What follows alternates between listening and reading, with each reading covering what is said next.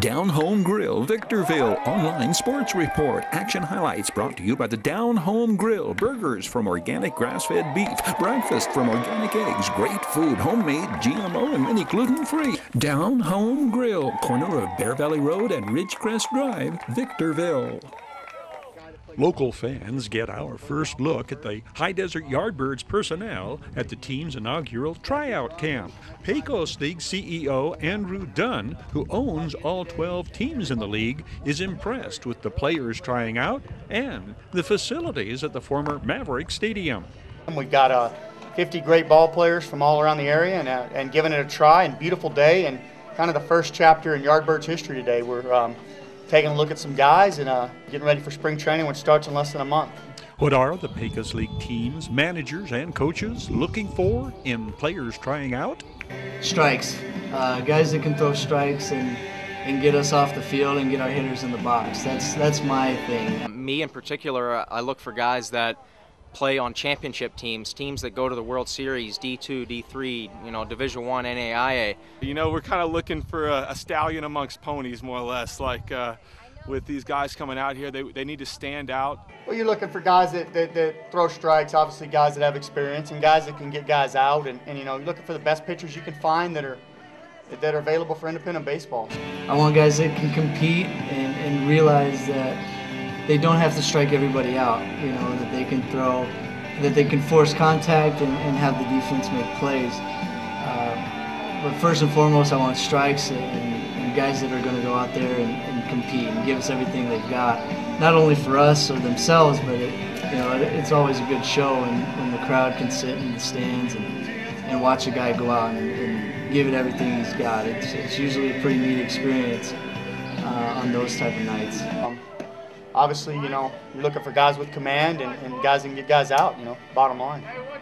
Victor Valley College pitcher Darrell Allen among the 50 plus number of players trying out. The 22 year old out of Salt Lake City is in his sophomore season at VVC. Oh, I'm coming here to try out for the Yardbirds. What, uh, what do you hope to show them? Hopefully, show them that I have a good two seam and a good secondary pitch. I'm a good chances, closer. Yeah, aren't your chances a lot better being a pitcher than the position ball players? Yes, sir. Yeah. I think so because of a pitcher's a big role in uh, independent ball. If offered a contract to pitch for the Yardbirds, would Darrell Allen sign?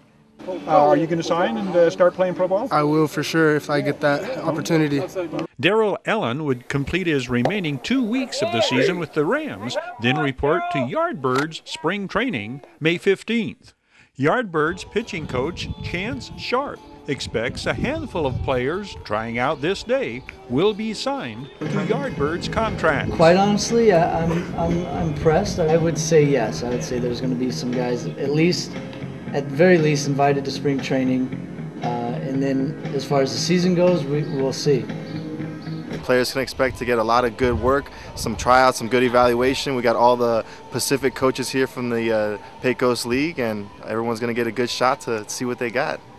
Are there some players already on the Yardbirds roster that have been signed?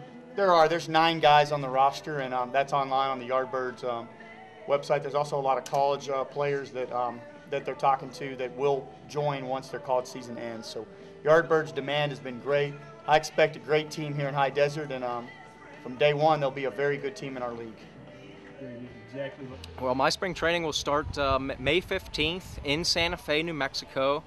Um, there'll be about 30 guys coming out to camp, and you know we, we, we have a couple veteran guys that you know looking to contribute to the team, guys that have played in the league in the past, and, and we have about eight rookies right now signed. Uh, you know, just just looking to have a great season. We open up spring training May 15th in California City, and our official opening day is May 25th. We actually start here in Adelanto. We're going to spend a couple days here. We're going to we're going to play an exhibition game. Uh, so some of the guys that we can get a look at in, in live play because things kind of change up when you go from practice to live play and uh, I'm looking forward to it. I, I, I, chose this place over all because you know over the rest of the places because of the facility. I mean, I, I look around and I, I, feel the minor league atmosphere, and I, want the players coming to spring training to get that same experience. 20 year old Chris Orozco is a Marine stationed in 29 Palms. He tries out with his wife and young baby in a stroller there to support him. I played ball back in Crown Point, Indiana. Um, moved out here for the Marine Corps in 29 Palms, so that's where I'm stationed now. What are your expectations, hopes? Uh, just an opportunity to become a professional baseball player? Yeah, I just want to see how it goes. You know, um, this is my first tryout, so we'll see how it goes. What do you bring to it? What positions do you play, and uh, what are your strengths as a ball player? Uh, middle infield, outfield. I got good speed. Like to hit for contact, so hopefully they like that. You know, you never know until you see the guys that come out and try. They, you might see something in someone that uh, might fit your the, the mold of your club extremely well. So to say that there's a specific position, I'm looking for a catcher and a few pitchers, but uh, I'm open for anything at this point. Uh, that's why we came all the way down here to, to do this trial with the Pecos League. Well, Santa Fe has, has been in the league since 2012. Uh, they won a league championship in, in 2014, and you know we're, we're, we're looking to we're looking to bring that championship back to Santa Fe. Uh, you know, just out here in, in Adelanto, looking for some players. Um, I think it's a great opportunity for, for first-year players. Once the season begins, how does a team replace an injured player or someone who is promoted to a major league affiliate? Well, you know, we, we keep contacts with, with affiliated scouts throughout the season and, you know, guys that are guys that are released, guys that are on their list, and you know, there's a number of guys that, that are coming right out of college, and uh, they need to be like plug and play type guys where uh, the things we don't have to reinforce some of the uh, some of the basics and the fundamentals that they can go out there and they can hit the ground running. Uh, those guys play into June sometimes, so that's after our season starts. So so there's there's still guys that are looking for jobs at that time. What exactly do local fans, like self proclaimed Yardbirds number one fan Robert Fuchs, expect from the professional team that replaces the High Desert Mavericks? Well, this year I hope to uh, at least see something out of them uh, really good. I expect uh, not too much for the first year. Fan wise, I hope that everybody just makes it out and uh, coming out for another season of baseball here, you know, at High Desert Stadium. You know, we're going to need all the support we can get. Uh, I just think as long as uh, the general manager and whoever runs the stadium is agreeable with some of the fans and give them a little bit of incentives and here and there, you know, not you know not giveaways, but you know just a little bit of incentives and really help you know the fans out to bring them back and back and back. You know, the more fans we have, the more you know, the more of the stadium will be. We'll keep baseball around. You know. All righty, I'll be here. Yardbirds number one fan right here. Thank you, thank you, Terry.